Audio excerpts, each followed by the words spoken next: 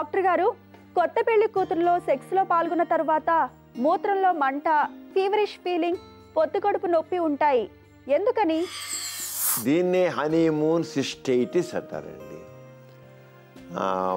అంటే మనం కొత్త కొత్తగా పెళ్ళైనప్పుడు ఆడవాళ్ళలో మొదటి రెండో రాత్రి ఏమైపోతుందంటే ఎప్పుడైతే విజయనాలో పురుషాంగంతో ఒరిపిడి కలుగుతుందో ఆ ఒరిపిడి వెళ్ళినట్టు ఇన్ఫ్లమేషన్ అంటాం కొద్ది బాపు ఏది సరే. కొద్దిగా కొత్తగా మన ఒరిగాడు అక్కడ నలిగిపోతుంది లోపల. నలిగినప్పుడు ఏమవుతుంది? క్రిములు చేరుతాయి. చాలా తిరిగే క్రిములు చేరుతాయి.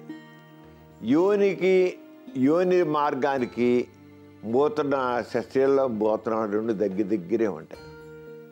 కింద యోని రంధ్రం పైన మూత్రం వచ్చే రంధ్రం. అంతే కదా? కొద్ది తేడాలో ఒక్క సెంటీమీటర్ డిస్టెన్స్లో మూత్రం యోని రంధ్రం రెండు పక్కన ఉంటాయి.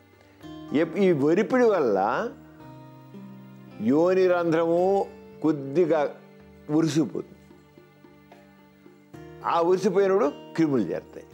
ఆ క్రిములు చేరినప్పుడు ఆ క్రిములు ఈ రంధ్రంలోకి వెళతాయి క్రిములు ఆ క్రిములు. ఎక్కడ శరీరంలో ఎప్పుడైనా గుర్తించండి మనకి మన శరీరం ఎప్పుడు మన శరీరం లోపల ఉంటాయి క్రిములు శరీరం బయట ఉంటాయి. కానీ ఎప్పుడైతే కొద్దిపాటి ఇన్ఫ్లమేషన్ కానీ ఒరిసి ఒరిసిపోవడం కానీ గీసుపోవడం కానీ రుద్దుపోవడం కానీ జరిగితే వాటికి చక్కని అవకాశం ఉంది ఏర్పడడానికి ముఖ్యంగా ఈ కోలైని స్టెఫ్లోకోకస్ అని స్టెప్టోకోకస్ అని ఈ బ్యాక్టీరియా అయినపై క్రిములు తేలిగ్గా చేయిపోతాయి ఈ క్రిములు విజయనాలను దూరుతాయి మూత్రనాలను దూరుతాయి. ఆ మూత్రనాళలో నుంచి మూత్ర ఆ పైకి వెళ్ళిపోతాయి. ఎక్కడికి వెళ్ళిపోతాయి? యూనరీ బ్లాడర్లోకి వెళ్ళిపోతాయి. యూరినరీ బ్లాడర్కి వెళ్ళాడికి ఏమవుతుంది? మరి క్రిములు చేరినప్పుడు మా సాధారణంగా ఏమవుతుందంటే మనకి ఫీవరిష్ ఫీలింగ్లా వస్తుంది. ఇన్ఫర్మేషన్ వల్ల ఫీవరిష్ ఫీలింగు మూత్రానికి వెళ్తే మంట ఇవన్నీ వస్తాయి అన్నమాట అని దీన్నే హనీమూన్ సిస్టైటిస్ అంటాం. అయితే అందరికైనా కానీ ఎక్కువ మందికి వస్తుంది ఆడవాళ్ళకి చాలా. అయితే కొంతమందికి ఏమో కొద్దిగా ఉంటాయి లక్షణం కొంత ఎక్కువ మందికి ఎక్కువ ఉంటాయి. అయితే అలా రాకుండా ఉండాలి చేయాలి ఏంటంటే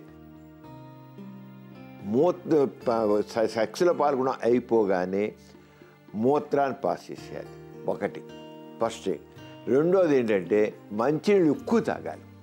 అంటే ఏవైతే క్రిములు మూత్రనాళం ద్వారా లోపలికి చేరాయో వాషౌట్ అయిపోవాలి.